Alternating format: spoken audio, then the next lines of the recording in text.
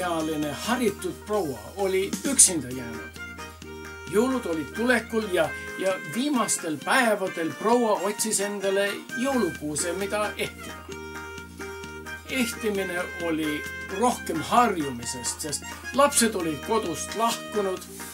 poiss oli Soomes, kus tegi metsatööd, vanem tütar oli Norras pangatööline ja noorem ja, ja muidugi kõige edukam tütar oli madalmaadel stripper.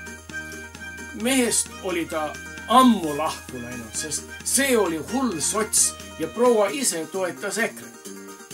Polnud päevagi, mis lõppes ilma tulist viha ja üksteise sõimamist. mees tahtis pagulasi enda koju elama tuua ja tal oli kah vist oma geisõber, kellega vahel ööd veetis. mees toetas kah Putin paeti pakti, millega valitsus tahtis kinkida viis protsenti Eestimaad Putinile. noh, naine muidugi polnud kooseluseadusega nõus ega kah pagulaste meelitamisega ega majutamisega ja muidugi mitte Eestimaast ja varast loobumas, sest tal oli ju Petserimaal sugulased.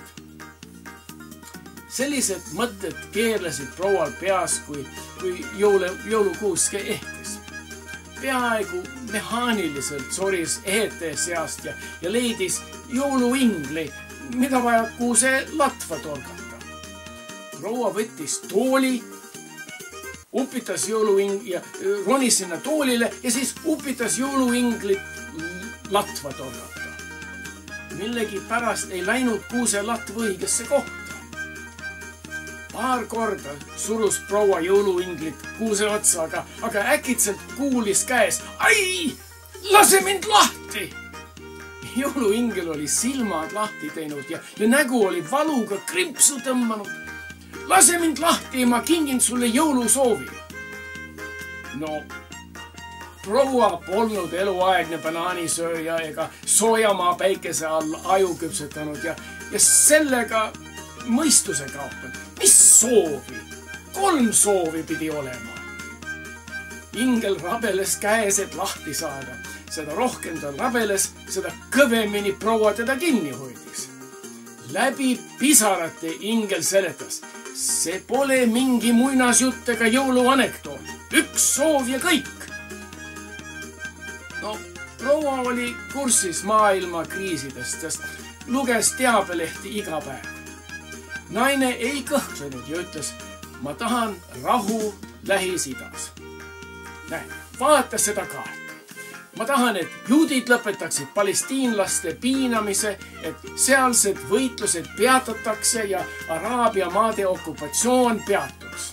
ma tahan, et kõik juudid armastaksid araablasi ja araablased armastaksid, armastaksid ameeriklasi ja vastupidi. see toob kaasa maailma rahu ja harmoonia. ingel vaatas kaardile ja utsus, Leedi, ole mõistlik. Hamiitide ja semistide eh, riigid on sõdinud tuhandeid aastaid. ma olen pärast kahekümne aasta pikkust sinu ehte karbis olnud. ma olen hea, kuid mitte nii hea. ma arvan, et seda ei saa teha juudid on hästi relvastatud ja nad ei taha leppida. tee veel üks soov ja olgu see palun mõistlik. Hetkega esitas naine juba uue soovi.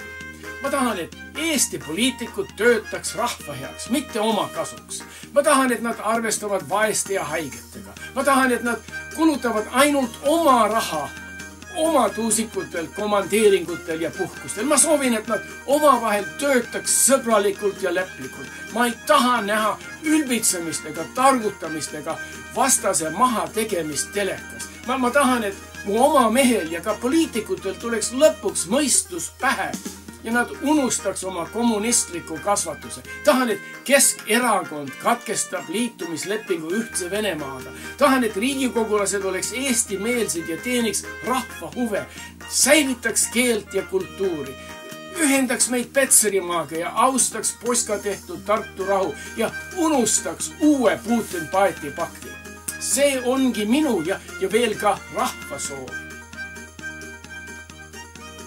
ingel tõmbas sügavalt hinge ja ohkas. las ma vaatan seda kaarti.